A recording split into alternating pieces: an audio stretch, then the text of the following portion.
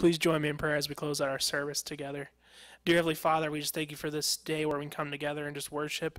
While not physical, while not physically here together, we can worship together in spirit and as one body, God. And we thank you for that. We just thank you for this service. We thank you for Jason's message. And I pray that we can all be empowered to live in the live in the light, God, that we can represent and reflect your light, God.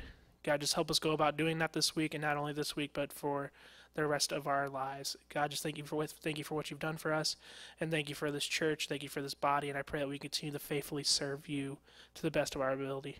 In Jesus' name, Amen.